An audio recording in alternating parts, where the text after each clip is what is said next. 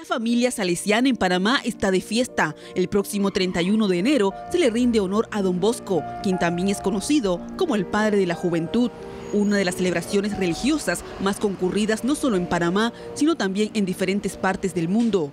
El legado de Don Bosco sigue calando entre los feligreses, un legado de amor y de comprensión a quienes más lo necesitan, en especial a los jóvenes.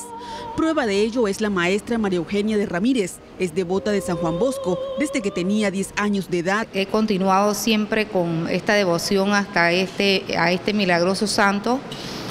Este, Siempre he encomendado a mis hijos, a don Bosco, tengo dos hijos, en sus trabajos, don Bosco siempre me ha ayudado. Su fe y confianza hacia don Bosco han logrado que su familia esté unida, aún en los momentos más difíciles. Una vez este, mi esposo y yo no teníamos trabajo y él me vine acá a la Basílica de don Bosco y el mismo día le pedí a don Bosco pues que nos concediera ese favor y el mismo día nos llamaron a ambos a, los trabajos, pues a dos trabajos, a él a uno y a mí para otro. La verdad que es un santo muy milagroso, yo le agradezco mucho y es el santo de la juventud.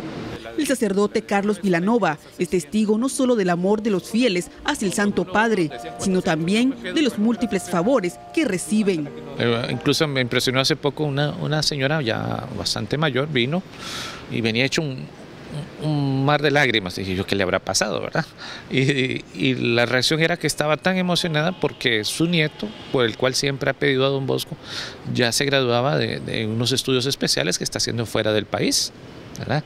Y, era, y ella me contaba, nosotros vivíamos en un cuarto y yo siempre le pido a don Bosco por el trabajo, por los estudios de mis nietos y ya voy viendo coronado mis... Entonces ella daba ese testimonio por decirle, y no es algo que sea eh, pero sí toca la vida de las personas, ¿verdad? La devoción de Panamá hacia don Bosco ha sido tanta que muestra de ello. Fuimos favorecidos con una réplica que guarda el antebrazo derecho de don Bosco, el mismo que utilizaba en vida para bendecir. Este 31 de enero, miles y miles de devotos cantarán y alabarán al Santo Padre, porque Don Bosco es de Panamá. Con cámara de Luis Tapia, Yarelis Ureña Navarro, Next Noticias.